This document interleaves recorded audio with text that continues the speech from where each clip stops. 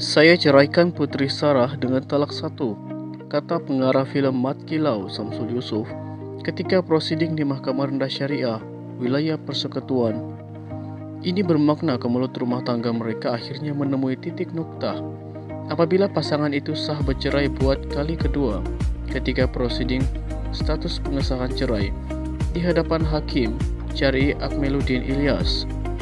Sebelum ini mahkamah merekodkan lapas talak peguam syari Azmi Muhammad Rais yang mewakili pengarah filem berusia 39 tahun itu mencadangkan pasangan berkenaan bersalaman bagi memohon kemaafan.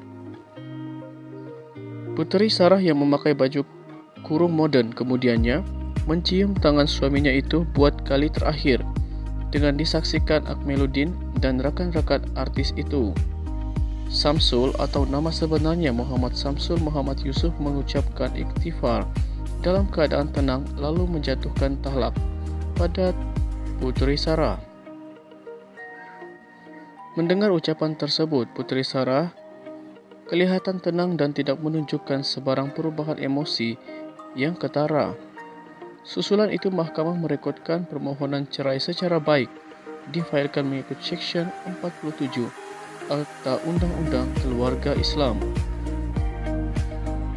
Bayaran lain juga perlu dilunaskan, merangkumi perbelanjaan makan minum, pendidikan dan perubatan. Mahkamah juga merekodkan defendant perlu membayar nafkah RM15,000 dalam tempoh edah kepada Puteri Sarah selaku plaintiff.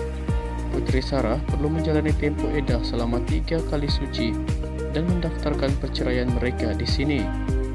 Semasa prosiding, Peguam Syari Datuk Ekmaluddin Abdul Qadir yang mewakili Puteri Sarah berkata, dalam prosiding pendahulu, mahkamah telah mengarahkan kedua-dua pihak supaya menyelesaikan isu lafaz talak yang berlaku sebelum ini.